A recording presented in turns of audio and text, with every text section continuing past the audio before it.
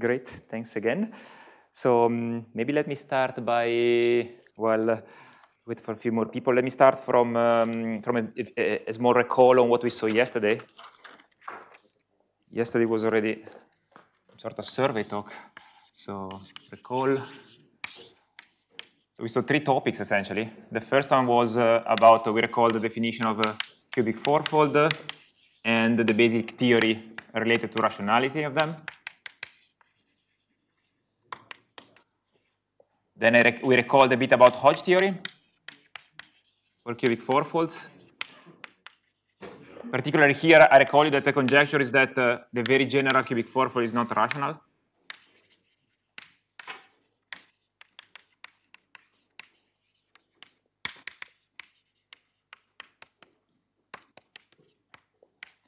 And here instead we recall that we saw two things in some sense. We saw uh, the notion of Hassett divisor, CD. And we also saw a bit of, uh, we saw the period map, uh, and uh, we saw a bit about uh, how to use Hodge theory to, to, address rationality by, by, by trying this Hassett question that I'm going to retake today on uh, uh, to characterize CD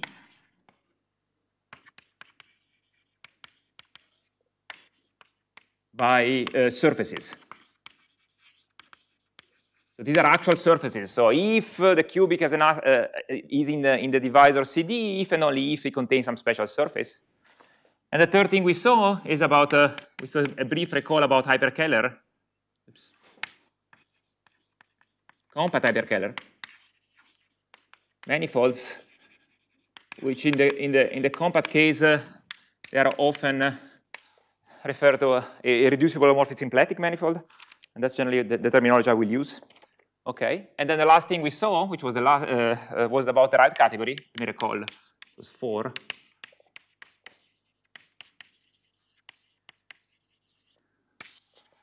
And so in this case, let me recall very briefly that uh, we have uh, we have a category dy, which was the Kuznetsov component with two functors, the inclusion functor and uh, the left adjoint and uh, dy was defined as the orthogonal of three objects.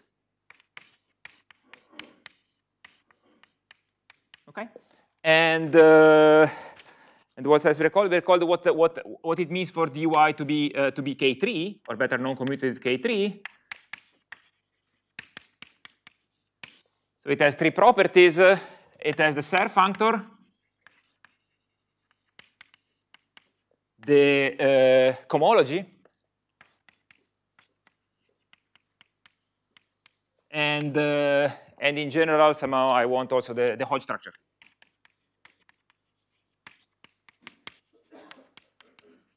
Okay, so that's a recall from from from yesterday. Okay, and uh, good. So and, and generally somehow here is we define something which was the Mukai structure together also with uh, with the Mukai vector V. Yeah.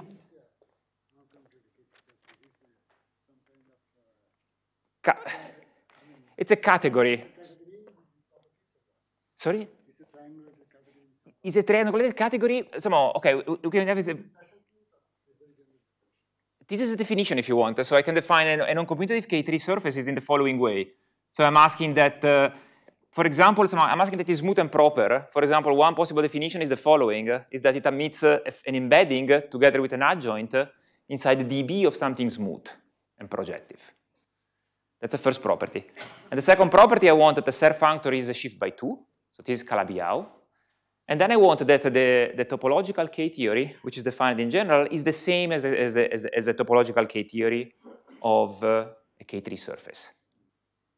And the third one, I want, want a Hodge structure, which in general is given by the, the, the homology, which match the same as uh, the, the structure of, uh, of a K3 surface. Okay, so that's my definition. I, I will not study so much about this. At the end, I, in most of the talk, I will be interested in this one, and I will see later a bit of generalization. But uh, this, is, this might be a definition, for example. Okay?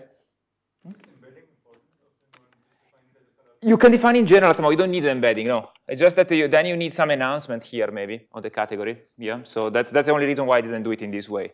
But I think there are no example, right, in which uh, this is not the case. But okay, but uh, yeah, no, it's it's definitely not. But this is in Orlov notion, in Orlov in Orlov uh, uh, terminology is what's called the geometric, but uh, but it's not needed. No, all these all these properties are not needed. So this can be defined in general once given given an enhancement. Yeah, thank you.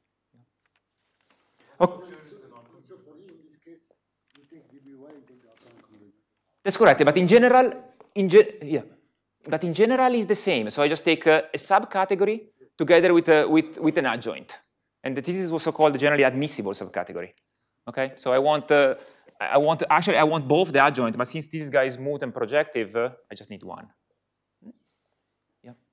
So that's, uh, that's my definition of smooth and, uh, and proper.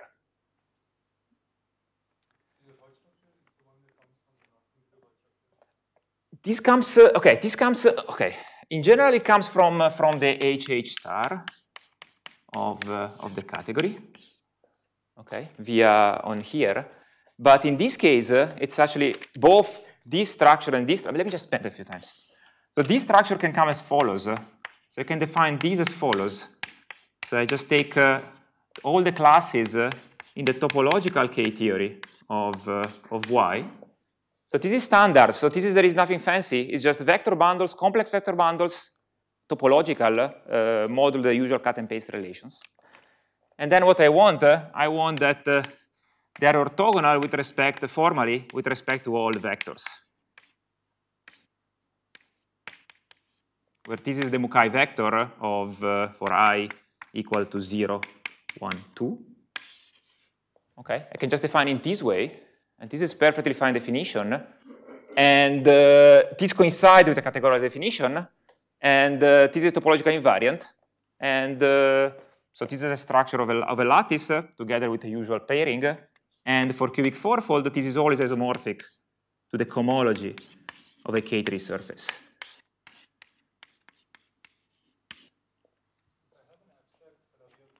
Yeah?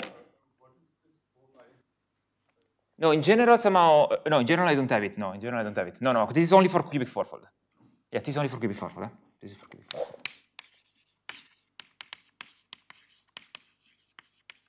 In general, I define it, uh, the only definition that I know, somehow in general, even if I have something inside here, the only definition I can give uh, is a definition as, uh, as topological K-theory. It's not a definition. Yeah. This is coming from, uh, from the following. so I have a pairing if I take a vector bundle and another vector bundle, I can just take a E tensor, uh, oops, sorry, E dual tensor F, and then I can just push it forward to, to, to the point. And this is an element, the topological K-theory of a point, which is, a, which is Z. Okay, so that's the pairing that I define. Yeah. So that's, that's all. Uh, but in this case, in some sense, I don't need, because this can be a definition, and uh, which is isomorphic to this one, it's topological invariant. And uh, the Hodge structure, uh, somehow I can, I can come from, from Hochschild cohomology, but I can also come directly from the cubic fourfold just by taking the H3 one and then project it down. So that's also fine. You may wonder if I can replace by cohomology, and thus I cannot do it because topological K-theory behave much nicer with respect to this kind of projection. And for example, cohomology with Z coefficients won't work. It won't land into something Z while uh, topological K-theory does. Okay, so that's the difference. Because topological K-theory is, is invariant under, uh, under Fourier-Mukai transform, for example. And this is, it's something defined over Z. Okay, so that's the, it's good like this. Okay, great. So that's a part. Okay, now I wanted to part the new one. So the new part was about polarization. Okay, so this is the, the uh, part is slightly tricky in general. So I want to talk about polarization uh, on such a category. And so for me, the definition is, uh, is, uh, is, is, is, very simple. I want, uh, the only thing I want, I want a stability condition. So I want sigma, which I'm going to define as ZA. I'm, I'm going to give a very rough definition since uh, we will need it, but mostly for formal property. So this is what I call the polarization. So the, the, the thing that I'm, I'm, stating later is that given a family of, uh, of a cubic fourfold, there will be this, this, uh, there will be associated a family of polarized uh, non-commutative K3. So there is a stability condition and moves in family as well. And so let me give a very quick definition, although I think we, we sort of saw it. So A is a heart, so it's some abelian category, such that sort of, if I take dB of A, I get back d of y. This is not quite true, but is what is called the heart of a bounded structure. But, sure. Sorry? Yeah, yeah, it's very different, but that's indeed in between commas. so this is, uh, in general, also called the heart of a bounded T structure. And it's not so far in the sense that uh, you don't have uh, complexes in A, but you do have a cohomology objects in A, okay? But in general, it's very different, yes. Yeah. Although here, uh, here I'm not sure somehow. Here might be that they're actually the same, but I don't know. Yeah for the usual structure, yeah. Mm. But anyways, it's not super important. The,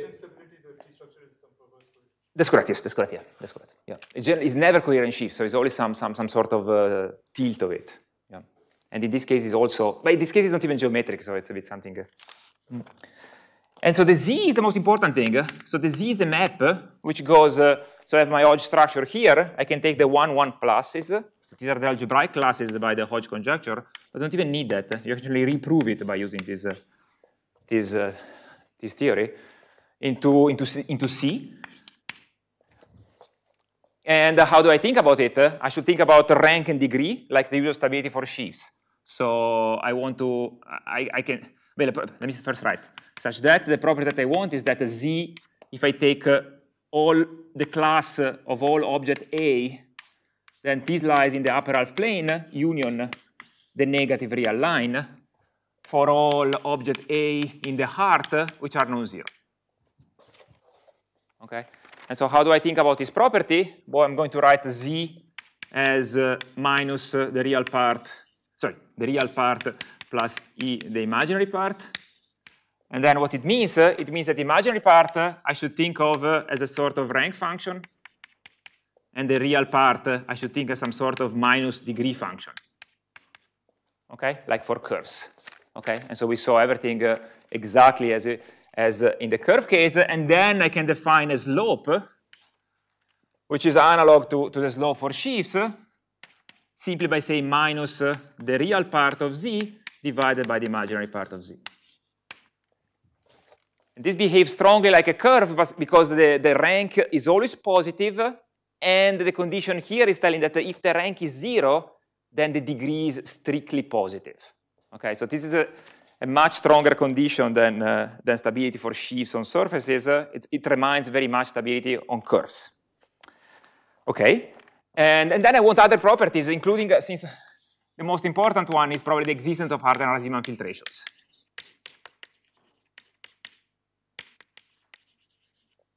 which uh, in this generality I have to impose. And then there are other conditions, and maybe I'll mention, uh, I mention a few more. I mentioned that moduli spaces behave very nicely.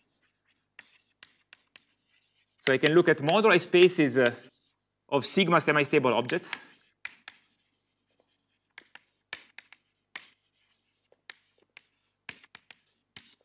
So I recall you that uh, since I have a slope, the notion of semi-stable is exactly the same so this means that A in A is, uh, is, slope, is sigma semi-stable if for all sub I have that the slope of the sub is smaller or equal than the slope of, e, of A, and the stability is the same just with the strict inequality. So that's the same as, as the usual notion. And so I can form, uh, if I fix a class V in the H11 of dyz is a general thing. So I can look at the moduli space of, with respect to sigma of v. So what is this? So in general, this is a stack, as, uh, as Dan was mentioning in his talk, but thanks to their result, which is going to present later, I guess, so this is going to be, in general, you can talk about this as, uh, as an algebraic space.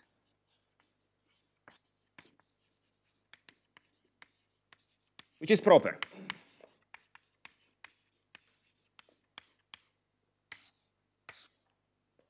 Okay, and so that's a key property here. So uh, essentially the theory is the most complete. The only question that is left, uh, and this is a question in general actually, so this is completely general statement, uh, the under certain assumption on the on the on the on the how these, these, these objects, semi-stable objects behave, but it's a pretty general statement, which I won't recall now for lack of time. But the question that is missing here is projectivity. So in general, we, we don't know that, uh, that this space are proper algebraic space, but not projective in general. So that's still the part missing. This is what uh, also Carlos was mentioning in his talk. So we, we, do, we, do, we do know a line bundle on this, uh, on this modular space, I, I, will state it, but we do not know that this line bundle, we know it's nef, it's, it's, you know, it's, it's, strong, it's strongly nef, but we don't know it's, uh, it's, it's, it has sections. So the, the, whole, the whole, the whole enchilada is to, is to produce sections here. Mm? Okay. That's correct. Sorry, I, I didn't finish yet. Sorry. so these are, uh, you, can, you can define as follows this thing. So these are the object A in A such that um, they are semi-stable. They have, uh, they have Mukai vector equal to V. And uh, since I have in A, maybe I want, oh, sorry, this is a slightly technical point. I want plus minus V. So I don't need to fix the phase here, okay? So maybe, maybe it's shift by one is in the category, just to be a bit more flexible. But yeah, I fixed the phase because I fixed that is in the heart. If I want to have a general definition, it's also fine, but then I fix the phase. Yeah, thank you. And yes, that's the only thing I need. And the family of, of, of, of, of, of object is the same as family of, of sheaves. It's exactly identical definition. Just you have to use the derived category appropriately. In the heart, yes, that's correct. So that's, that's what, uh, what I'm looking at. That's why I don't need to fix a phase. Yeah. And anyway, plus minus, uh, should not worry about this thing because uh, in, in any case, either is there or is in there shifted by one. so that's only for, for convenience.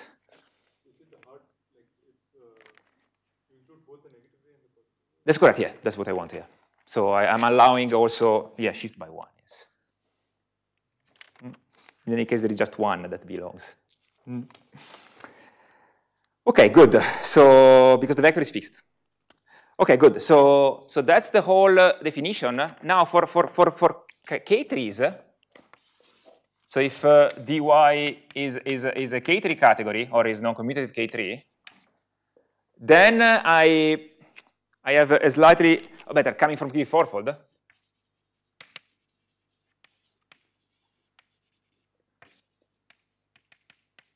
Well, the first part, let me just say it in general.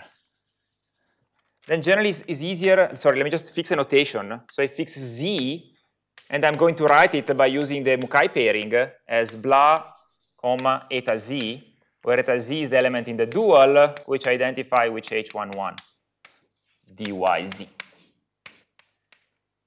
Okay, so that's my object. And now the statement is that uh, for cubic fourfold, there is a special lattice which we saw already uh, coming from uh, Torelli. And actually before. So for cubic fourfold, we can look at the following lattice. We can look at that A2 lattice, which is the following, 2 minus 1 minus 1, 2, which lies inside the H11 of dyz this Muslim family, what is this? So I can define a basis, uh, lambda 1 and lambda 2 is a basis. And how do I define them? Well, it's very simple. I take all the line in the cubic fourfold. I take tensor by 1, and then I project down into the category. And then I take the Mukai vector. And similar for this one, so this is V of the projection of OL of 2. Okay, and if you do an exercise with Euler characteristics, you see that this is the matrix that you get. Okay, so P is the projection. Eh? Okay, and so what is the, the statement here? The statement is a, is a theorem. Maybe let me state it on the other side. That for, uh, this is our polarization that comes out, uh, the theorem.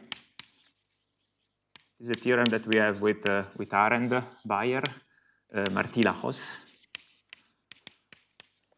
and Paolo Stellari. And so the theorem says that uh, on dy, coming from cubic fourfold, there exists a sigma in the stab dy, which moves in family. And uh, in this case, it's such that uh, if I look at eta sigma, oh, I call it eta z, but it's the same, this belongs to A2C. Okay. And uh, there is one, um, it's not uniquely determined actually, it's determined up to some autoequivalences, uh, but I will just fix one up to some cover, I can always do that, and then we call it sigma zero. Okay, one of such.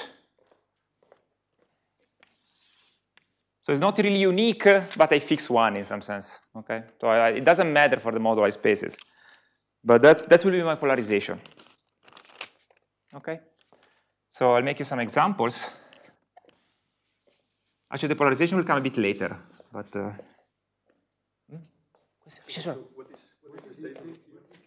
so the statement is that uh, on this on this category dy coming from a cubic fourfold, uh, the first statement is that there exists a stability condition, with the property that uh, if I look at uh,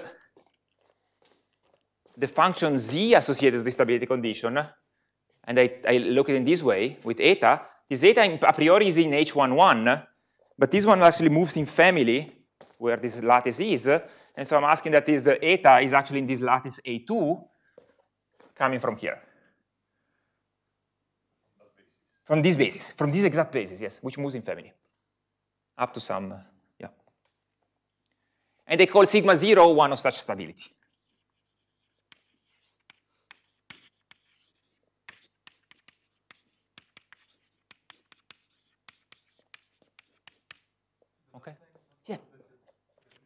Sorry? Oh, no, this is this. Uh, it's just a, it's just a notation. I fix just one. Okay? Yeah. So examples, it's not so simple to see the examples in general, but uh, this stability, will, I will need it eh, for a few things. Eh? You will see later in the, the various proofs. So um, examples.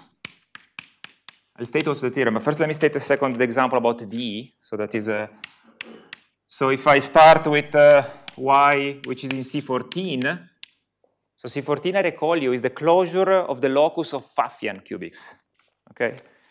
Then it's not so hard to see that uh, uh, it's, it's, a theorem of, of Kuznetsov, but it's a consequence of his theory of uh, homological projective duality that says that uh, d of y is actually equivalent to dB of a K3 surface. And the K3 surface is not so hard to see what it is. It's a K3 surface of degree 14. And so I recall that for degree 14, there was always associated a K3 surface. This is the, that K3 surface. But uh, if you take Y Pfaffian, for example, this is just the, the, the usual K3 surface coming from the correspondence. So maybe I recall you briefly if you want. So this is actually not so hard. Well, no, I, I don't think I need this thing, so maybe not. I don't have time. Unless you want. so if, uh, if y instead contains a plane, for example, that's another example, then there is also a K3 surface associated because you can look at the quadric fibration associated from projection from a plane. This ramifies on a sextic, and again is a result by Kuznetsov that dy is actually equivalent to dB of the K3 surface associated, but there is a small variation which coming from a, from, from, from, from, a, from a quadric bundle, or if you want from Azumaya algebra. So it is a class in the Brauer group of S. Sure. So C14, I remind you, so these are the, so these are one of the Hassett divisors. So these are the one in which uh, uh, inside the H 2, 2 of the cubic with Z, there are two classes. So the first class is the class of the hyperplane section twice, and the second is a class, that they call it uh, um, T4 in this case, which was one of the, quad of the, of the quartic scrolls. So if you look at, uh, let me call it this lattice K, so if I write K as a lattice, so this is a 3, 1, 1, uh, sorry, 3, 4, 4, 10. And so the, the discriminant of the lattice, so the determinant is 14. Okay, so it's this thing containing two, two, two classes. But it's a purely theoretical condition. Eh? So I just wanted there is another class with this property. Yes.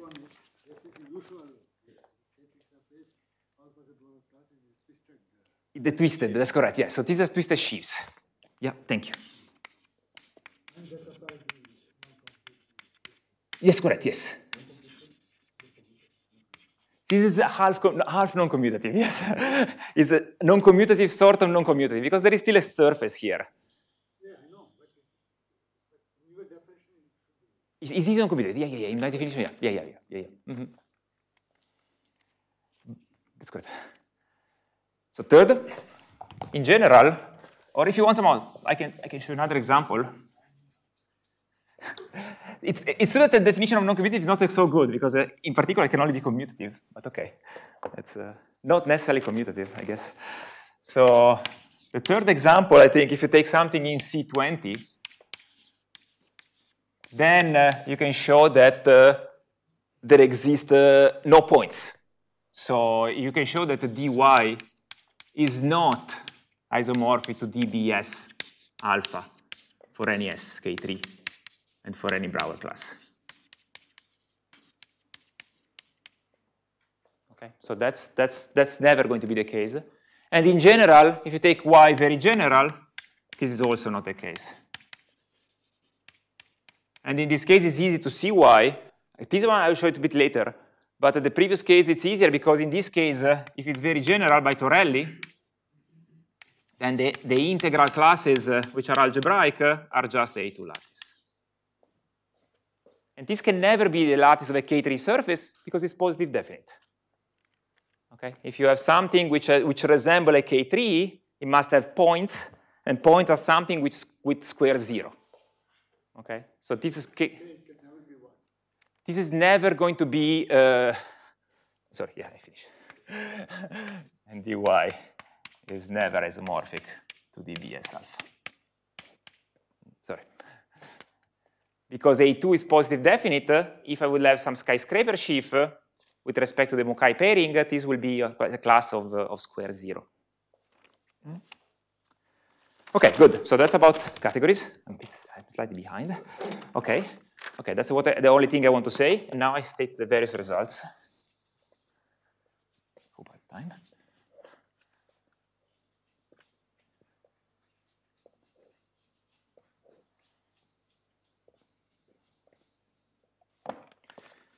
So section five, I want to do a comparison with the various approaches. And uh, well, the first one, let me just state the conjecture. So this is rationality versus derived category.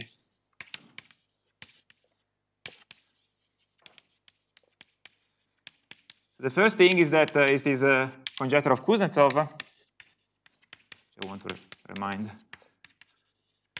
unfortunately won't say much, uh, that says that uh, it's a rewriting of the various conjecture that we had, but in terms of derived categories. Uh, so it says that uh, the rationality, if and only if, the quotient of component is equivalent to dB of a K3 surface. Untwisted, eh? Okay, so that's uh, the statement. And for example, this conjecture is compatible with these examples, uh, but compatible depends. So this one, of course, they are known to be rational. We proved. Okay, this one uh, they should not be rational, and indeed uh, there is a there is, there is a there is a twist. and when this twist is trivial, uh, is known that the the cubic is rational. So that's good. And these two examples, of course, are compatible with the all various conjecture we came from Hodge theory, because they should not be rational. Yeah, sure. Yeah. Why is a cubic fourfold. Eh? It's always a cubic fourfold, I'm sorry. Yeah. So then it's irrational if and only if dy is equivalent to the d of s for S a K3 surface And dy is a Kuznetsov component. It's not the right category. No, no, no, no. Yeah, yeah, yeah. So that's that's what what what detect rationality in some sense. Yeah. Yeah. Sorry. For statement four is compatible with the conjecture. Yes, it's also compatible because this is this. Yeah, this is the most general conjecture. This is the most believable part of the conjecture. They say that the very general should not be rational. And indeed, it's never actually, it's a highly non-commutative case. This one about divisor is, is, a refinement that we saw also in the, in the theory of uh, as a question, and this conjecture we'll see is equivalent actually to that one. That's one of the theorems that uh, I'm going to present. Hmm? Okay, so let me state maybe the other theorem, unless there are other questions so far. Okay, but so the theorem, the second part is the following. I want to show that this conjecture is compatible with the other conjecture, and I want to show you, and then I want to show you the second property is that uh, in any case, this category will recover something about Hodge theory via moduli spaces. So this is the second part, uh, is Hodge theory versus uh, uh, derived category.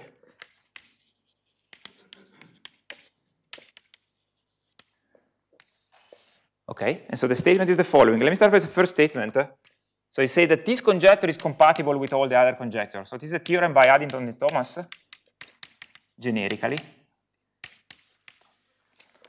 Uh, Thomas, Richard Thomas.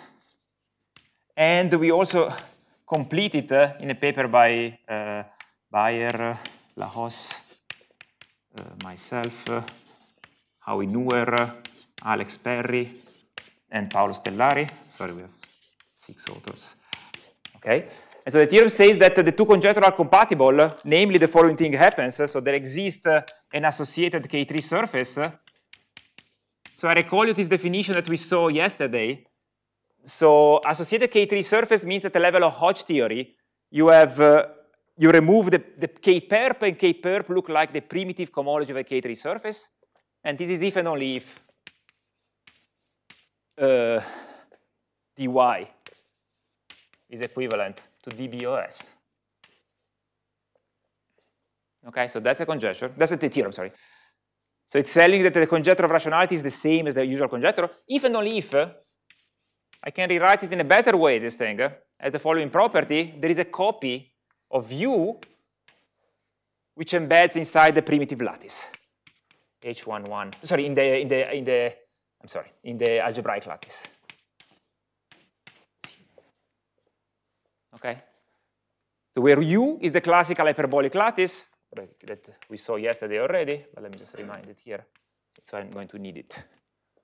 Okay, so the condition of having K3 surface is exactly the condition of having a class of square zero, a point, together with another class which intersect one, and I'll show you why in a second.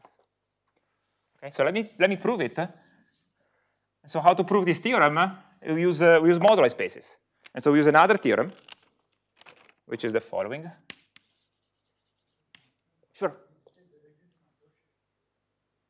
Means the following. So it's the definition from yesterday. So if I look at so I recall you that, uh, uh, okay, how do I state it? Um, somehow if, if, if I take k, some rank 2 inside uh, the H4 of uh, the cubic Z containing uh, H square, and is of rank 2, oh, sorry, let me just write rank 2. Then I can look at K-perp. Okay, so K-perp is something of rank uh, 21. And I want that this is isomorphic to the H2 of a K3 polarized. And so this is the primitive part of a polarized K3 surface. So the condition of there exists an associated K3 is exactly this one. And the other condition is that there is a, the derived category is the same. And the two are compatible with this third condition, which is a numerical condition, which is this.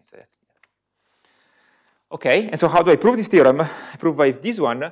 So this is a theorem, again, we have in the same paper, BLMNPS.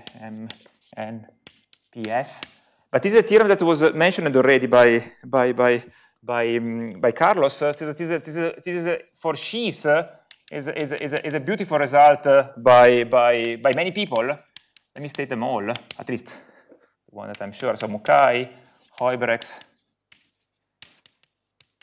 Kieran, O'Grady. And finally, the last statement is a, is a statement by Yoshioka. And the statement says the following thing. It says that it gives you precisely criterion for, for when moduli space exist, and what kind of varieties are they. So let me state the theorem as follows. So we take V, a class in the H11 dyz, so in the cohomology algebraic. And let me assume the class is primitive, so it's indivisible over Z, and well, not zero. Okay? And let me take sigma, any stability condition. Now, there is a property that I didn't tell you in, in the definition of stability, that you can deform stability condition. This is very important. So here they say that there exists one, And so it, once it exists one on a K3, on a K3 category, there exist plenty of them. And so I just pick one, any of them, but I want it to be generic. So generic means that uh, uh, stable and semi-stable are the same. Okay, that's the usual definition of, gen of, of genericity. Then, the moduli space that we know it exists, uh, and it's nice, uh, it's, uh, is non-empty, if and only if it has the, the expected dimension is positive. So the expected dimension is v squared plus 2.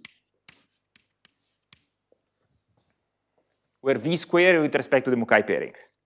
And moreover, if this is the case, then it's, it's a hyperkähler manifold polarized. So if non-empty, then uh, the moduli space, and in this case we also know more, it's projective in this case.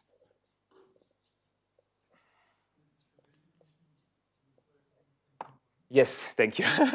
I, I, just uh, just safely didn't say this, but uh, there is a small dagger here, which means it's in the same connected component as sigma zero.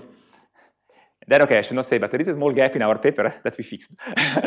that we, I think we never proved, we never actually wrote down that this, this component, when it's a K3 surface, is the same as Bridgeland component but it is true. it's just don't written in the archive, but uh, it will appear in the, in the revised version. anyway, so yes, so it's the same component. It's the only component that we know. Okay. Okay, good. So, okay, moreover, if non-empty, then, uh, then the, the, the moduli space, and I will use it uh, in a second, is projective. So in this case, the question that I stated is true, uh, and uh, is smooth, and is an irreducible holomorphic symplectic manifold of uh, K3 type of dimension, the expected dimension, v squared plus 2. And together with, last part of the statement, a, a polarization. So it always comes with polarization, with a natural polarization, which I call it L sigma. V, which is uh, which is in the in the n1 of m sigma v. And maybe I want a class, I want it over real, with real coefficient in general when I move sigma. So this depends only on sigma. So it's stronger than the usual stability for sheaves. So there is a canonical one which you move around when the stability condition moves.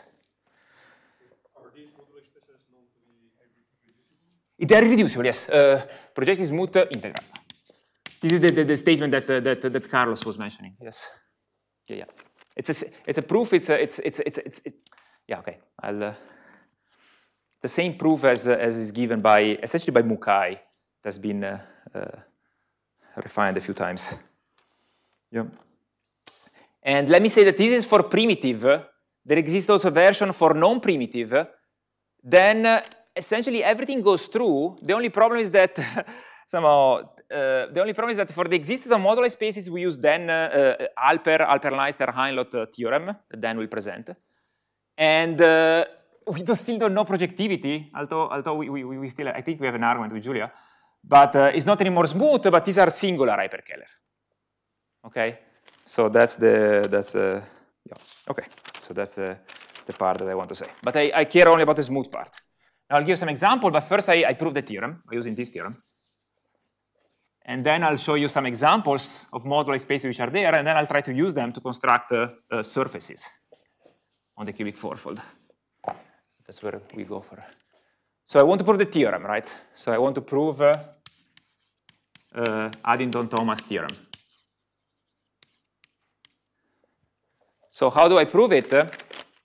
Well, it's uh, I have a lattice U so it's actually it's actually not so hard to see. So it's uh, how, want I, how I, want to think about creating the K3 surface if I have the thing. So I want to prove that uh, if I have an embedding uh, like this,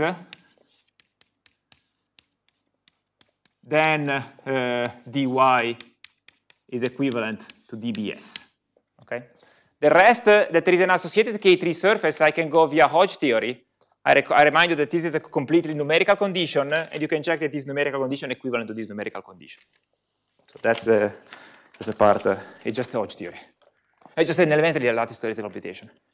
Okay, so how do I think about it? Let's do first this one, which is the easiest.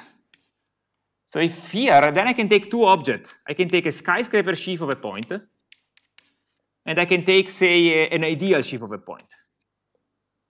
Okay? And then the lattice they generate is, uh, but the square of a skyscraper sheaf is zero, the square of an ideal sheaf of a point is zero, and the intersection between the two is just one. Okay, so that's the first part. And so I proved that uh, these are algebraic classes, and so I proved that uh, there exists a U inside uh, H11 DBS Z. Okay, so that's the first part. Good. And so the vice versa, I want to do the same thing. So I will want to do uh, that uh, I start with the class uh, and I want to realize that the skyscraper sheaf.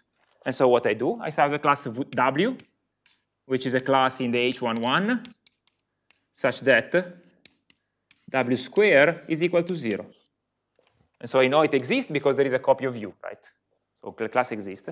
And then what I do, I just look at, uh, let me define it S, as the moduli space of sigma stable objects with Mukai vector W, where sigma is any stability condition I want, the only thing I need is that it's generic. And so since W squared is, is, is zero, the theorem is satisfied, so this thing is non-empty.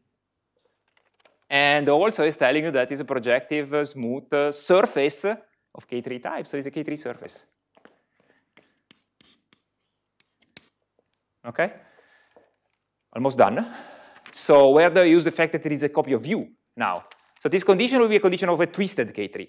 Now, for having a condition of having an actual K3, I need to use that there is another class with intersection equal to 1. Yeah. Using this theorem here. Yeah, that theorem there, yes. Yeah, yeah, yeah. And so I'm using now, yes. So I'm using the, the model says is non-empty, is a K3. And then the second condition, uh, the fact that there is a copy of U so it means that there exists uh, a W prime such that uh, W prime times W is equal to 1. So this means that the Mauer moduli space, this is a standard thing, it's, uh, it's actually a fine moduli space in the usual sense. So in particular, is that there exists a universal family.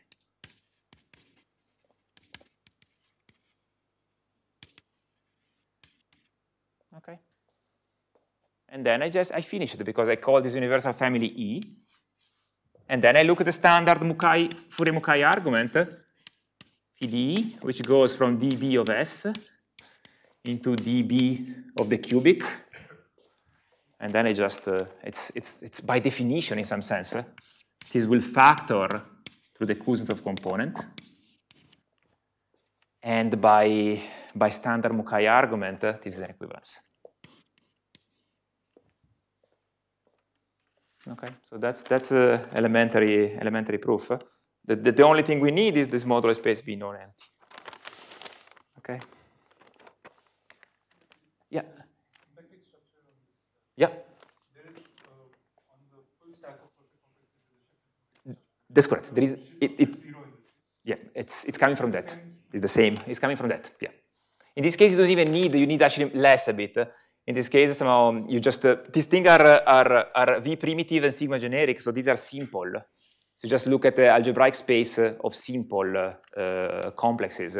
And that's, it was even known before by work of Inaba, which is based on Mukai, that is a symplectic structure. And the symplectic structure is just a standard one from Mukai. So just Ext1 times Ext1, which goes into Ext2, which since is, uh, is simple, is just C. Yeah. So that's the same, yeah. They're all compatible. So, so now you need the following. So how do you prove that the phi of E is, uh, is fully faithful, for example? And then how do you prove it's, uh, is surjective? Surjective, essentially surjective is easier because both of them are uh, Calabi-Yau, and so then somehow if this is indecomposable, then it's fine. And this is indecomposable, you see by computation Hochschild, uh, by cohomology somehow, that's easy. Now, how do you prove fully faithfulness? Uh, you have to prove that, uh, that um, if you take two skyscraper sheaves, you have to check that uh, there is, is, is uh, But uh, I remind you that um, here w squared is zero, right? And so we are still on a K3 so in a K3 category, right? So if I take a two object uh, E and F, and they are both stable of the same vector, then I know automatically that the harms between E and F, if they are different, eh,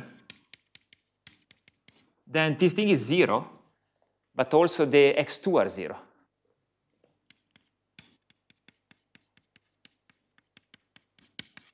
But the only one left is the Ext1, but the Ext1 is also zero, because v squared is equal to zero.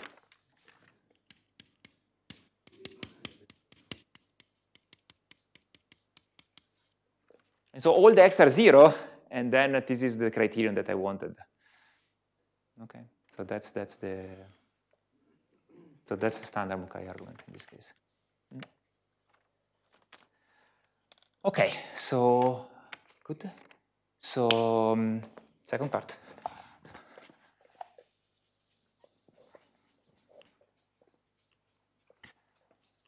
Another theorem, which is a theorem of uh, of Li, Pertusi, and Zhao. And Zhao. So Chunyi Li, uh, Laura Pertusi, e Xiaolei Zhao. It says that uh, you can look at some spe special moduli spaces. We're going to use this theorem. But now if I take sigma as the special stability condition, so I take sigma 0 now. And now I look at the, some special moduli spaces. And for example, the first one I, I want to look uh, is uh, lambda 1. So I remind you that there is a, this A2 lattice, uh, and this is lambda 1, and this is lambda 2. Okay, so I look at this one uh, together with the polarization coming from the theorem. And this is, uh, by their theorem, is the same as the Fano, together with the Plücker polarization. And the second thing which I need more is the following, is that uh, if I take instead the moduli space uh, still with respect to sigma 0 of lambda 1 plus 2 lambda 2, and then I take still L sigma 0, this is going to be the same as the eightfold that we saw yesterday, together with the standard polarization coming from the Plücker. Okay, and this is if uh, y is not in C8. And the third thing, maybe I'll mention, this is work in progress that they have, is that if you look at instead of 2 sigma, 2 lambda 1, sorry, and uh, also L. And so this is the same as, as O'Grady 10. So this is the same as the example described by Voisin, which is the formation equivalent to OG10. Anyway, I won't use this thing much, but that's just for completeness. Okay. So this is not the one described by, by uh, Laza. This is the twisted version. The other by work of uh, this is not never going to be a moduli space. Some, some other thing. Okay, so that's, uh, that's a theorem. And now I'm going to use uh, this theorem to prove, uh, to, prove uh, to, to try to answer a Hassett question.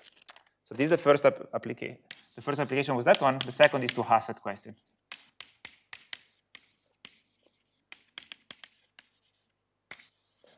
So I want to produce surfaces. So how do I produce surfaces?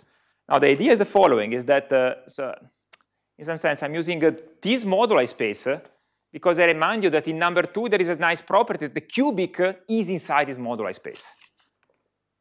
So let me do an assumption, uh, otherwise uh, it's possible that there is some modification of this argument, but at the moment that this is very much work in progress. So let me assume that D is congruent to 2 modulo 6, which is fine. So let me just write it as uh, d equal to 6m plus 2, okay? And uh, first thing I want to do, I want to find numerically this surface. So the first statement is that uh, then there exists a class, a family of classes actually. There will be a, a family of surfaces actually. So UA, which is in H11 dy z, such that, and A positive, such that I want two numerical conditions, which are the following. So the two numerical conditions are that, uh, this is just a, this is an elementary computation. This is, this, this is not a non-statement. But the first one is that ua square plus 2 is equal to, let me write it like this, a square plus a plus 1 minus m, and I want to be positive. And the second thing, uh, I want that uh, ua times the vector lambda 1 plus 2 lambda 2 to be equal to 1. Okay, good. So that's, that is the elementary. There is nothing to prove. It's super elementary. And now how do I get a surface? The idea is that to translate the existence of a surface uh, in something about moduli spaces. And so the best way to produce something in a moduli space is to use some Brill-Noether locus. And so definition. So the I have that UA plus 2, uh, UA squared plus 2 is, is, is bigger than 0, so the moduli space is non-empty. So let me take F inside the moduli space uh, with respect to sigma 0 of uh, the class uh, UA. Anything there? And then I define the Brill-Noether locus uh, with respect to F as follows. So these are all the E which are in the cubic Y inside uh, M sigma of lambda 1 plus 2 lambda 2. I remind you the cubic is inside, eh? such that uh, the home I between uh, E and F is, uh, is non-zero for at most 1F, actually for exactly 1F, for exactly 1I, sorry. Okay, so these are the, the, the, the, the, the, the object uh, which have exactly one x only with respect to, to my given f, fixed f. Okay? And so this is a locus inside y, which is open. And, uh, and now I can state small lemma. How do I use this locus to produce a surface? Boy, here it is, so lemma. It says that uh, suppose that the Brill-Noether locus is non-empty. So that's as usual the, the, the thing that we'll need. So suppose the Brill-Noether locus of F is non-empty. So this all is open, eh? by semi-continuity. Then uh, I have a surface. Then I can just look at uh, the, the, the image of F inside the, the, the, the, the, the, the, the cubic, and this is isomorphic to the ideal sheaf of some sigma f times a line bundle like this. Okay, where sigma is a surface that you can compute something, at least the, where sigma f is a surface with a property that uh, inside y, uh, such that uh, I can compute the degree. I can write a formula. So this is 1 plus 3 over 2a times a plus 1. And I can compute the sigma square inside the cubic. And this is the Boson number, d plus the degree of sigma square divided by, by 3. Okay, so that's a small lemma. So we say that whenever this, so somehow I, I, trans, I, I we change the problem uh, of finding the surface into a, into a problem about moduli spaces. Uh, there is no cubic anymore. This is just a purely uh, problem about, uh, about, uh, about, about moduli spaces. So let me give you some examples, and then let's state a small, uh, small result that we have so far. That this, this Brill-Noether locus is non-empty, at least for countably many divisors, which is a so examples. So boy, we can start with d equal to 8. This is slightly degenerate because this thing, uh, as I said, is only singular, but still works. So in this case, I can just plug, uh, well, you can just do the computation. So m equal to 1, a equal to 0. And so what, and the, and the locus uh, is always non-empty. And so what do I get here? I get a surface uh, with degree 1 and does the plane. Okay, so that's the first example. The second example, I can take d equal to 14, and what do I get? I get the, the, the scroll. So in this case, I have uh, m equal to 2. I hope I did the computation correctly this morning. a equal to 1. The Brill-Noether locus uh, is non-empty. And then I get something uh, of degree 4 and sigma square equal to 10. and it's not so hard to check that this is the quartic scroll. Ah, everywhere I'm assuming that y is generic. Eh?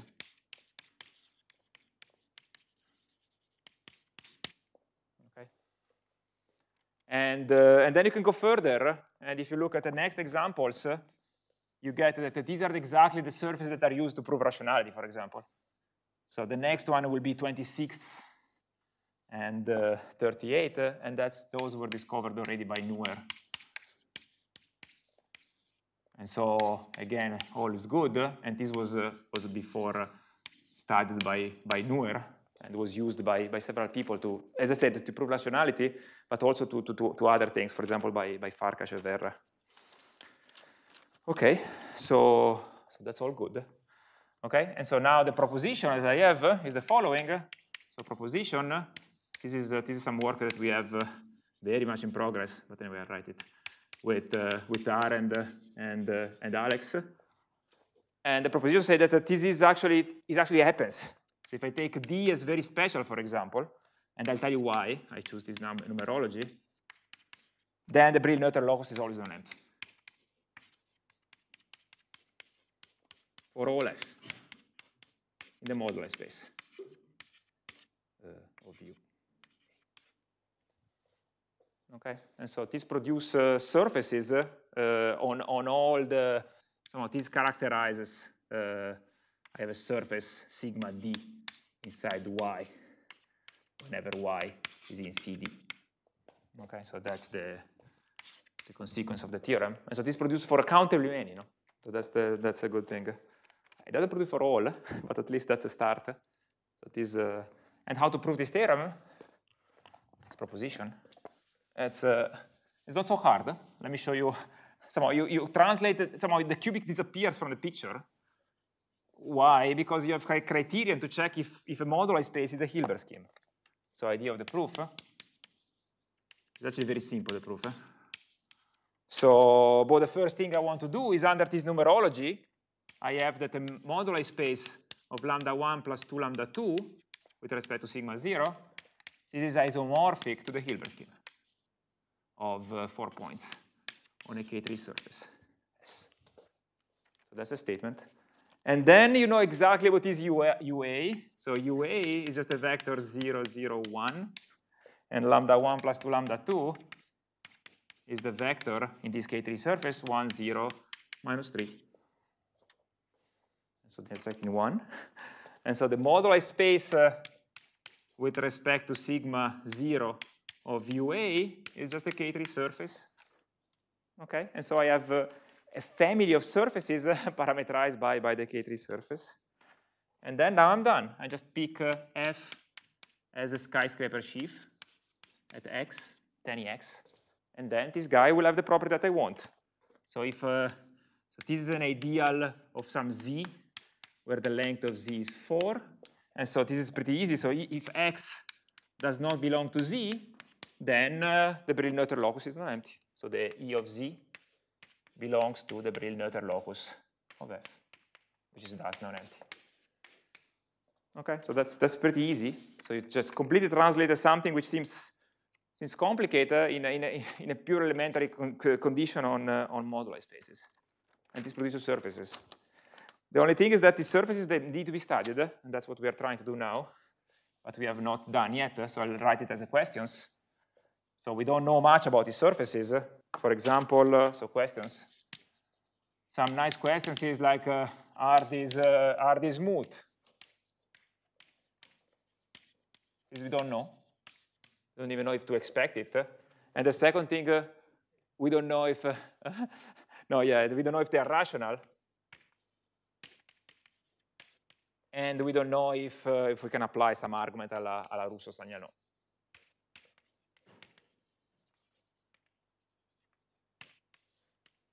Okay, but still, so this is a, this is characterization is somehow an, an answer to to to to to to Hassett question, at least in this in these countably many divisors.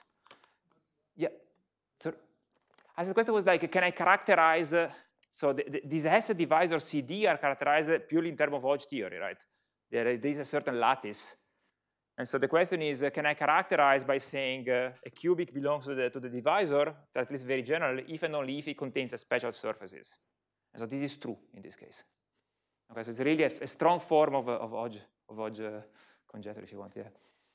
So you can really prove, produce these surfaces by using these, these moduli spaces. And this is in a purely elementary way, so. Mm. Russo-Staglianò is the argument that I, I, I, sketched a bit last time. So you will have to find a, a, collection of curves which intersect this, this surface in a certain way. So you, have, you will have to find some rational curve of a certain degree in which, uh, of degree e, in which 3e minus 1 intersection points are, are, are, are inside the surface. So there is just one left, uh, and that gives you the, the, the rationality of the, of the cubic. Mm. And so for this argument, these surfaces in the example are exactly the one that works. Okay, good. I'm incredibly out of time. okay. Uh, okay. Um, question about this part? Other question? Okay, so let me just uh, do the, maybe I'll do very quickly. Let me just do the generalization argument very quickly. That's the last thing I wanted to say. This is some nice, I like this, this, this, this generalization because the generalization has, has very much a resemblance uh, with what was talked before uh, in, the, in various talks actually about moduli space of uh, vector bundles of rank two on curves. Okay, so this is the last part. This is generalization.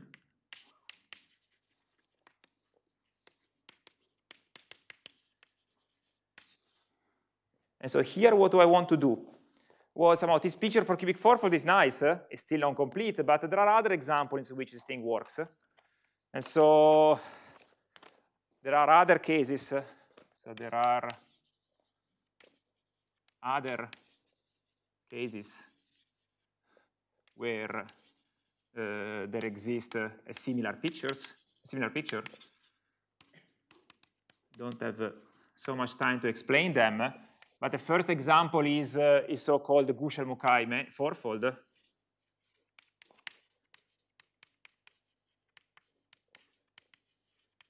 Where everything I said essentially, it's true by, by a recent paper by, by, by Alex Perry, uh, Pertusi, Zhao. So a Gushel-Mukai fourfold, uh, I can define what it is. Essentially, well, there are two types of, of uh, Gushel-Mukai, but essentially it's, is an intersection of a Grassmannian 2-5 uh, with, uh, with, uh, with a quadric and some hyperplane section. Okay, so that's one example. And, uh, and the next case uh, that where something should happen, but this we don't know anything, are the other varieties called the Debarre-Voisin fourfolds or manifolds. Come on, these are, manifolds. Depends which one you refer to. And so these are, the Fano variety is a, is a linear section of a Grassmannian GR310. Okay, so this is, something to do with a Grassmannian uh, 2.5, and this is something to do with a Grassmannian 310. This is much, much more open, open problem. some of the things works. For example, there is always an hyperkähler associated, but the, the category theory is very, is very at, at, at, the zero level, essentially. It's just some result of Kuznetsov, but very basics. Well, here the theory is essentially completely developed, essentially like what I told you now. Okay, so the, the, the, the, idea of our generalization is the following instead. We want to look at something which looks like a cubic. So we like to have some sort of, uh, some of these are, are sporadic example in some sense. So we like to have something which is more, uh, more like uh, an actual correspondence between Fano hyperkähler and, uh, and K3. And so the idea that uh, we want to do is some sort of, uh, in some sense, this example comes as follows. Let me just do a small diagram as a motivation. And then I'll state the result. So if I start with y, some Fano, but has to be a special Fano, let's say of K3 type. So by K3 type, this is not really so well defined, but for example, in a paper by Mongardi and Fatighenti, this says that uh, in some sense it looks like, uh, you remember the Hodge diamond of the, K, of the cubic uh, has a K3 surface there. And so this is something similar. So from the Hodge theory, you, look, you see some sort of K3 surface. Yeah. Yeah, sure. So in this case, for example, this means that, uh, um, well, yeah, how do I say nicely? So for example, a, a, a nice definition is that there is some, uh, some uh, some element in H, uh, yeah, let me give you, yeah. Let me just say briefly, so if you look at a Hodge diamond, uh, you want, for example, that a certain moment is 0, 0, 0, 0, and a certain moment that the first entry, which is not in the, in the middle column, uh, to be 1, for example. So for example, in the case of, uh, of uh, Hodge, Hodge oh, of cubic fourfold, that is H31, which is equal to 1. And so something of K3 type is something similar somehow, okay? Another definition could be that there is a, there is a, there is a, there is a copy of the derived category of the cohomology of the K3 surface inside the, the, the, the, the Hodge diagram, the, the Hodge diamond. Hmm? So something of this sort. It's not well defined somehow. It's, it's a, yeah, I'll, I, will tell you, but though I, will tell you how to find one. So the idea is that somehow, in some sense, uh, given this construction, uh, geometrically, you, you would like to associate some, uh, some, some hyperkähler polarized. This is a hyperkähler, and this is a polarization. Okay. And uh, for example, the one we saw, you can think about as, uh, well, there are several ways, or either geometrically, like somehow, so it means some, some, some sort of space of curves or something of this sort, or maybe something, yeah, something of moduli space of curves, say something like this sort. But the idea is that uh, why don't we start from here and try to go back in some canonical way? So in some sense, uh, I would like to, to, to start, well, okay, let me say. Well, let me say first another thing before saying that. So there is a geometric way, there is also a categorical way. For example, uh, although this is not so well developed, but for example, in the case of cubics, that we saw completely. And so the idea is that why don't we start here and try to reduce a y here, which is in some sense canonically. So that's, that's a goal that, uh, that I want to generalize. Okay, so I want, given a hyperkähler polarized, I want to get some sort of natural Fano, of which this thing maybe might be a shadow of, okay? And so let me state the theorem. So how do we do? So let me state some assumption, and let's just say what, what we can do so far. We can do something. Okay, so, so the example I want to keep in mind is the cubic and the Fano variety of lines, right? And so, so let me state the theorem. So the theorem is the following, so main theorem. And this is a joint work with, uh, with Laure Flapan, uh, myself, uh, Kieran O'Grady, and Giulia Saccà. And so the, the, the, the, the, the statement is the following. Let me, so I start with F, some uh, hyperkähler or irreducible holomorphic symplectic fourfold. I start with fourfold this looks a bit like uh, the rank 2 in the case, I'll, show, I'll give you an analogy, which is smooth, projective, and of K3 type, of K32 type. Okay. And H is a polarization, which is a primitive. I want to avoid some uh, and uh, I want that the self-intersection with, uh, with respect to the Beauville-Bogomolov-Fujiki form is, uh, is 2n, and I want divisibility equal to 2. So this is a bit bad because it excludes this case uh, where something else has to be done, but for example, it includes this case. But the Fano variety we get is different. Okay, so this is the divisibility. And then to this guy, this is a standard theory by, by, by Mukai and Markman, you can associate another lattice. The lattice you associate is some generalization of the A2 lattice, which I call A2n for some, uh, it's not a good notation, but I, I, don't know how to call it differently. So this is 2 minus 1 minus 1, and the last one is n plus 1 over 2. Where, uh, since I have asked that the divisibility is 2, this actually implies by the elementary computation that n is congruent to 3 mod 4. And so this thing is where it makes sense and is a, is a, is a positive definite even lattice. Okay? Good. And again, I define a basis like lambda 1, lambda 2. And the example to keep in mind is the cubic fourfold that we just saw in full detail. And so the example is, uh, in this case, n is equal to 3. Okay? So the example the, for cubic fourfolds is the case in which n is equal to 3 and f is the Fano variety of lines on the cubic fourfold. Okay? And h is the polarization that comes from Plücker. Okay, so now what do we do?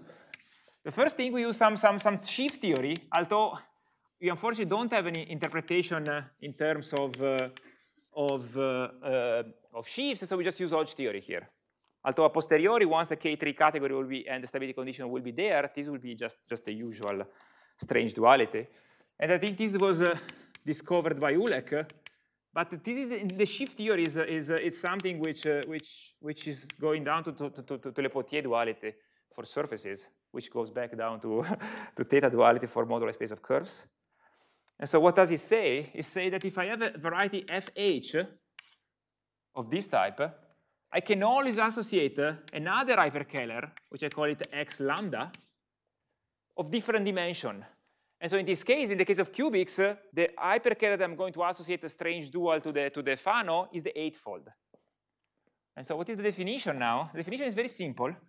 So let me do first as moduli spaces, and then I'll do it, uh, which is just an intuition, and then I'll do it maybe, oh yeah, I have done. So intuition,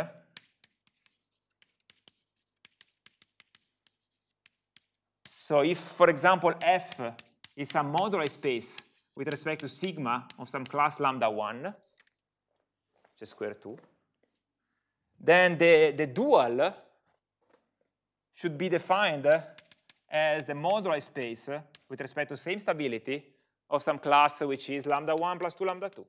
It's the same for cubics. Okay? And why strange dual? Because I remind you that lambda 1, lambda 1 plus 2 lambda 2 is equal to 0. And so now there are two things. Whenever I have something of this form, this divisor is going to induce some class here. And this class is square 2n. So this is the polarization. And here, this divisor is going to do something here, which I call it lambda, and that's the polarization. Okay, that's a standard thing of uh, of, of moduli space on uh, on uh, on on sheaves of sheaves on, on on surfaces. And so now the actual definition. Unfortunately, I don't have an interpretation like this because I don't know I don't know a K3 category associated with this problem.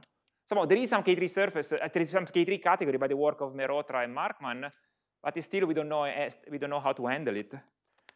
But we can still do it uh, in uh, purely in terms of uh, Hodge theory. Then it's not anymore uh, a, something which is algebraic, but it's still fine. So in terms of Hodge theory, I can make this duality rigorous just by saying the following. So if I take FH, I'm associating the primitive cohomology And this I can think as follows. I can think as the complement, as the orthogonal complement of lambda 1, lambda 1 plus 2 lambda 2 in a certain lattice, which I call it lambda f, which has a lattice isomorphic to the K3 lattice. So it's U4 plus E8 minus 1, 2 copies. But it has a Hodge structure coming from the F. Okay, this is the Mukai-Markman lattice. And now what is X? X is very simple x is coming from looking at this thing, but now instead of being a, a complement of this thing, it's a complement of the same but turned around. So it's, a, it's something which comes from uh, whose h2xz prime is the same thing, just that I look at it in different ways.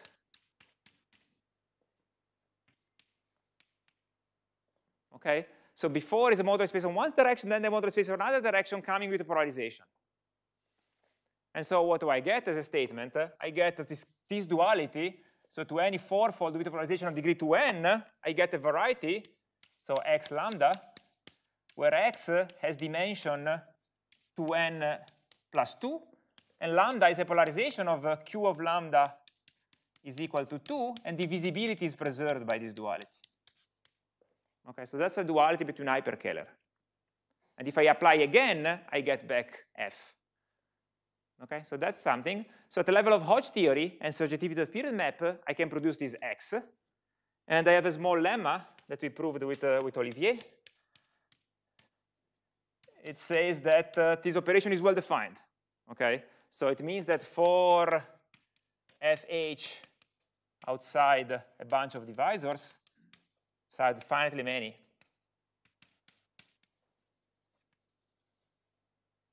Heegner divisors, so these are just generalization of what we saw in the Hassett divisor.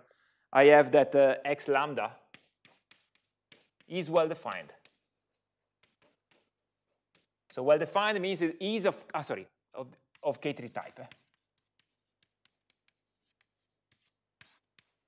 So it means that uh, this is hyperkähler, this duality is well-defined, and lambda outside this divisor is a polarization. Okay, so I get, if you want, a, a birational map between moduli spaces of hyperkähler polarized of different dimension. Okay, so that's what this, thing is, which I can control where it's not birational by just some Heegner divisor. Okay, good. So why do we like X now? Because X is an involution. So the Torelli theorem is telling you abstractly that X has an involution coming from the class of square 2. So it's exactly the same as for the cubic. So this is a direct generalization of the cubic. So this is Verbitsky theorem, Torelli theorem, which I won't state it for lack of time, but is uh, somehow I'll state what the consequence, plus uh, the computation of Markman monodromy theorem, which again I won't state it, but I'll tell you the consequence.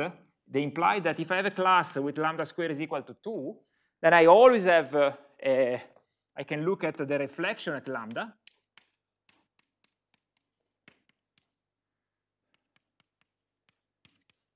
Okay, so this is a class on the H2. And the statement is that uh, since lambda is ample, implies uh, there exists an automorphism. So there exists an involution tau from x into x with the property that tau square is equal to the identity and tau lower star is equal to rho lambda. Okay, so I can always leave the involutions if they come from a square 2 class because uh, this is a monodromy operator which preserves an ample class. So by Torelli theorem plus Markman is telling you that it can be leafed.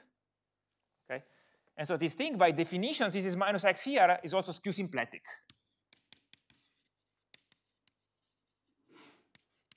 So the, the 2-0 form going to minus itself. And now it's, uh, I do like for the cubic. So x, I remind you, for the cubic is an eightfold that we saw several times. And so now what I can do, I can look at the fixed locus.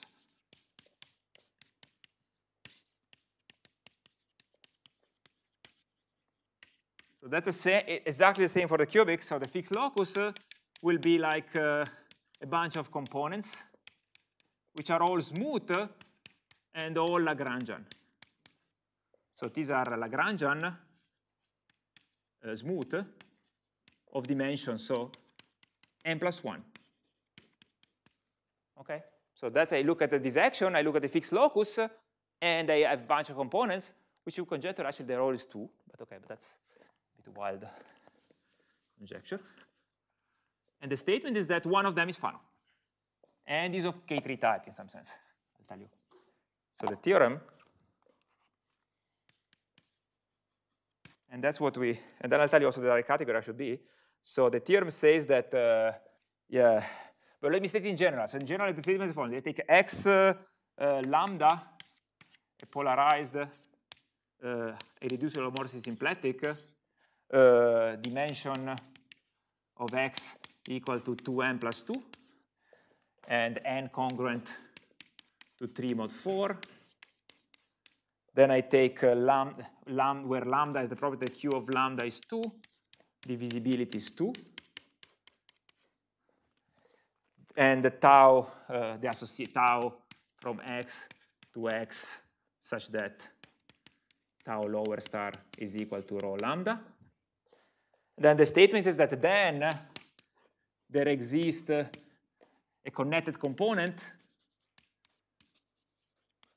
of the fixed locus,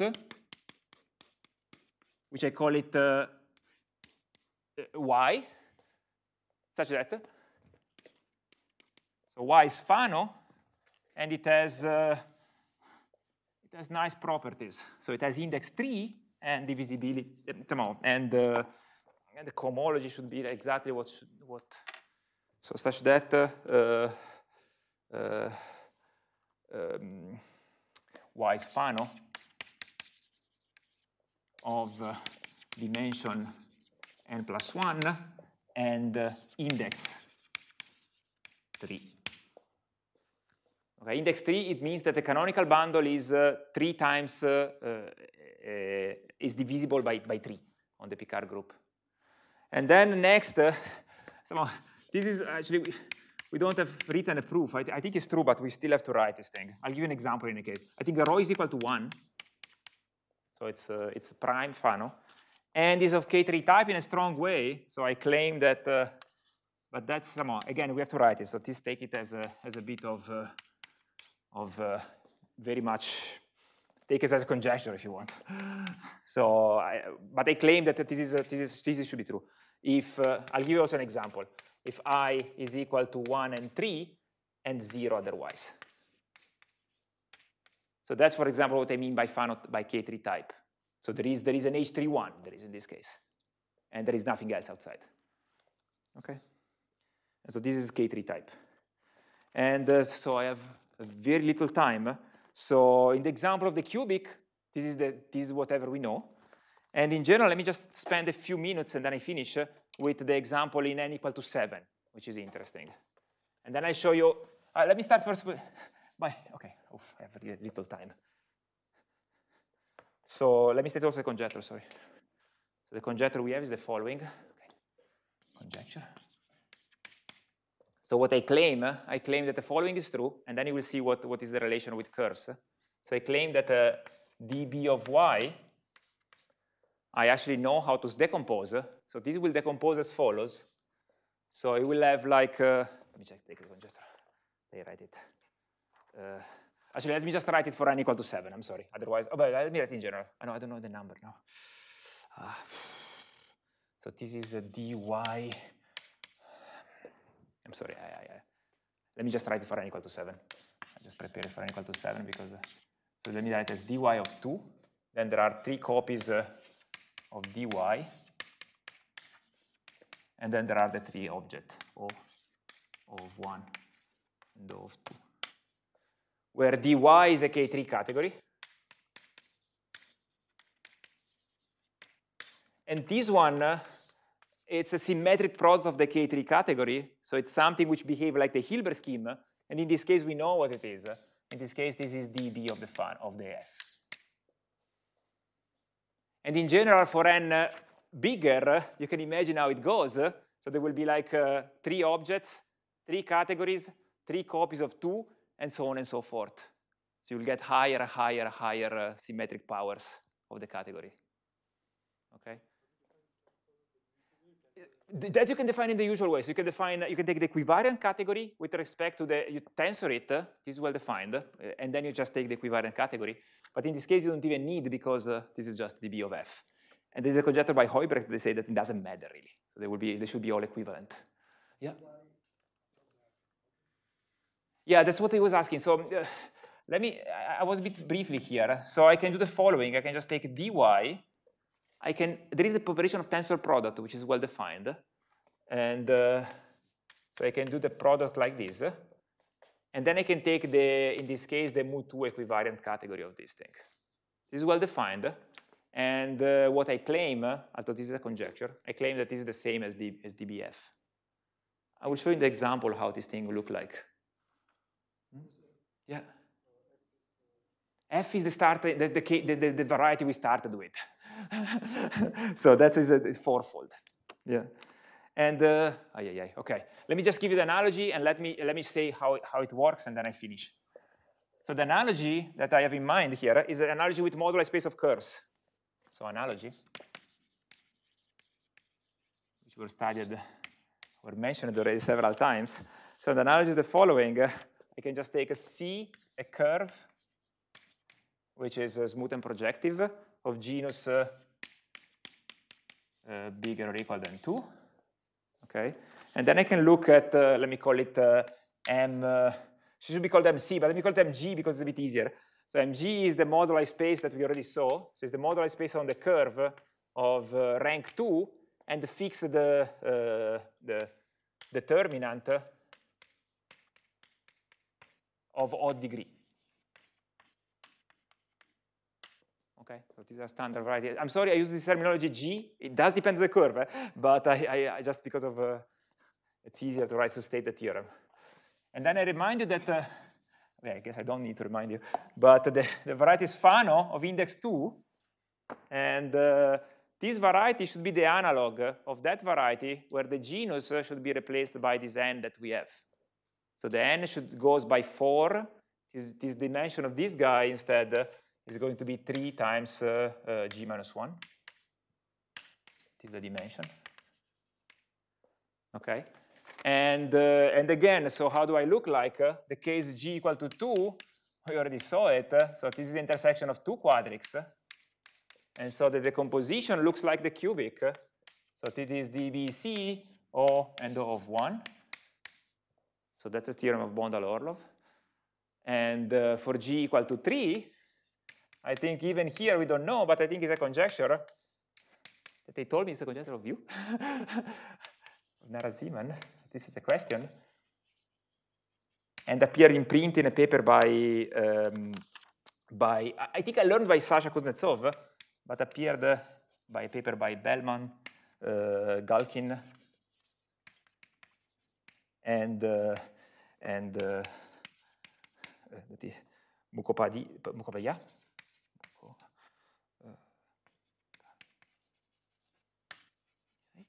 Okay, and so what is the conjecture? The conjecture is exactly the, the analog. So for genus 3, the conjecture is that the dB of M3 is, uh, well, there is a copy of the symmetric category, which in this case is just the dB of sim2 of the curve. Then there are two copies of C, and then there is O and O of 1. Okay? And so that's analogy. And for genus N, genus G is the same. So there will be always be two copies of sim, two copies of sim, until I reach the last piece where there is just one copy. So these two conjectures are really analogous. They are Fano, this is of index 2, it is of, in, of, uh, of index 3. This is proved. This is in a paper by Belmans uh, and Mukhopadhyay. Now, the, the, conjecture is still for this piece over here. So this, this piece is proved. But it's not known what is the semi-orthogonal component. Sorry? It's proved this part. So it's proved that uh, M3, but this in general, it's proved for any genus, that, the, that the, there is O of 1, then you take the orthogonal, there is a copy of DBC, this is proved by, by Narasimhan, it's proved by Kuznetsov and Fonarev, and then there is an extra copy of DBC, which is proved by Belmans and uh, Mukopa, Mukhopadhyay. For Hyginus, yes, for Hyginus. Yeah. Yeah. But yeah, so that's the conjecture. And so that's the analogy. Okay. And let me just give you one line to see that uh, how do I motivate this conjecture? Because there is the motivation, at least my motivation for that conjecture comes from uh, Thaddeus Bertram picture, which was used to prove the Verlinde formula that uh, this moduli space, they have a nice uh, resolution, somehow a nice, a nice sequence of flips uh, that relate to some projective space. And this is the same in our picture. So let me give you this example for n equal to 7. And it's true in general, this construction, actually. So how does it work? Well, you have to find some degeneration for this. This is going to be singular, but it's fine. So I start with the K3S, and I start with polarization, which I call it H, of degree 2n. And then I look at the, at the vector, this is the Mukai vector of the form 0hn. Okay, so this is Mukai vector, and then I look at the moduli space of this. So I can look at the Gieseker moduli space, and this is a nice moduli space because it has a, a nice map into Pn plus 1, just by doing the, the standard uh, uh, projection to the support, but it has also a section okay? And so the picture of how it goes, it goes exactly the same as for moduli of curves. Then it just moves stability with respect to the to Bridgeland stability, and then look what happens here. And what happens is exactly the same thing as happens for, for curves. So there will be like, uh, so here I'm looking at uh, the zero locus, which is Pn plus one. Oh, sorry, Pn plus one is not n. It's uh, P, P, mm, is P8 in this case. I'm sorry. So this is n equal, I'm sorry, this is n equal to seven. So this is 14 is 7. I'm really sorry. Okay, good. And then I just look what happens. And so the first thing I go, it's going to be some Mukai flop at the P8. So we'll get a new space, which I call it M2, where I have a P80 here inside. I'm sorry, this also there is an involution here, of course, coming from the involution on the fibers. Okay, so that's uh, and so P8 is a fixed locus. Okay, then I just do a Mukai flop and I replace it with some P8 dual. And then there is another flop, another Mukai flop, but this time is a relative one over the product of the two K3 surfaces. So this is a P. And this one, what does it go? So I can again look at the, everything is with equivariant eh, with respect to this involution. There is an involution, everything is equivariant. And here the fixed locus will change, and will change by blowing up the K3 surface. Actually, I think this is P8 dual, actually. Okay? So then this is how the, the, the procedure goes. And then, okay, I finished. and then the next one is a, is a, is a, is a Mukai flop on the Hilbert scheme.